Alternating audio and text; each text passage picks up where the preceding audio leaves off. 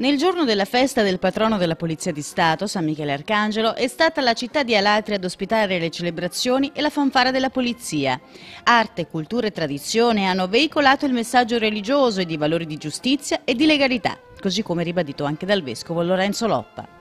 Tutti quanti abbiamo un angelo, è vero, questa è la dottrina degli angeli custodi eh, a livello di persone, ma tutti quanti siamo un angelo per gli altri e dobbiamo essere un angelo, custodire i nostri fratelli e sorelle, quindi in un certo senso ci sono gli angeli strettamente detti e gli angeli umani che siamo noi. Presenti alla celebrazione che si è tenuta in Santa Maria Maggiore le più alte cariche istituzionali del territorio, nonché i protagonisti della giornata.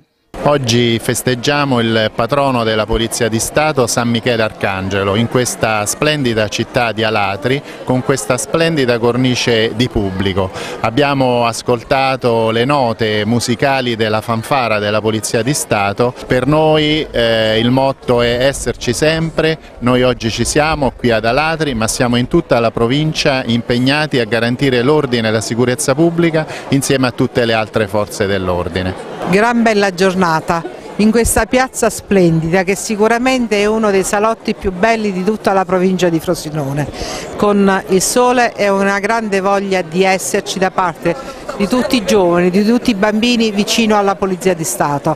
Con il padrone San Michele oggi celebriamo questa occasione che è importante, importante per la cittadinanza, importante per dare un senso di appartenenza a tutti i poliziotti, è importante per noi istituzioni che tutti insieme riusciamo a essere vicini alle forze dell'ordine, ad apprezzare il loro lavoro e a dire alla Polizia di Stato continuate così perché siete un punto di riferimento per tutti. Grazie ancora per il lavoro che fate a tutti i poliziotti. yaptı.